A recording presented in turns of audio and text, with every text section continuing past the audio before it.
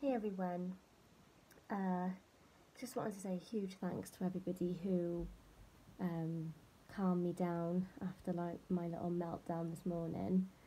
I'm definitely feeling better now that the day has progressed. Um, I was horrific this morning, like so bad. I ended up going to the doctor and um, I basically cried to her, told her all of the things I was worried about.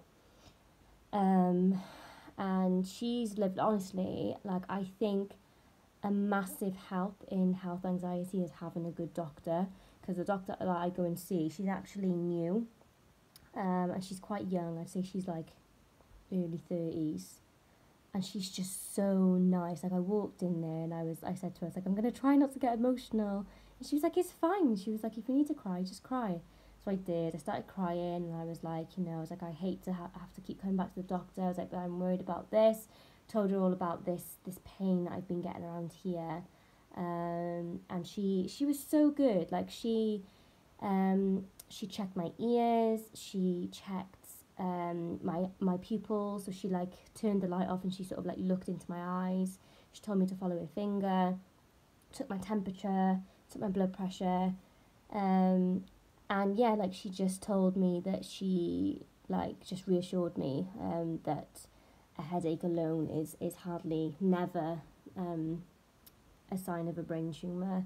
And then she also reassured me that the other fear that I had was an aneurysm.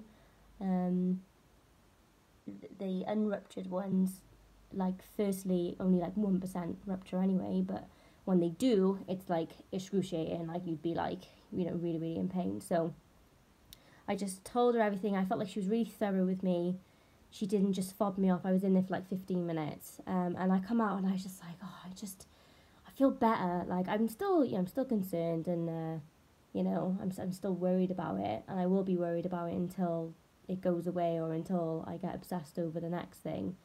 But um, yeah, and then I was like, you know what? I was like, I'm not moping around today, like because my, I was just like sat there, just thinking, thinking, thinking, thinking, thinking, googling, googling, googling. So I decided to meet my friends for for lunch. Took Willow out, and for like the two hours that I was out, didn't think about my symptoms. Had a nice time. Then I got back, um, probably around, I don't know, one p.m. And I was like, oh, what can I do now? So I was like, come on, Willow, let's go to the garden. So we like spent the day at the garden just playing and stuff like that. Didn't didn't have my phone too much, and um, then um, my mum and dad picked up Willow because they're having her overnight tonight.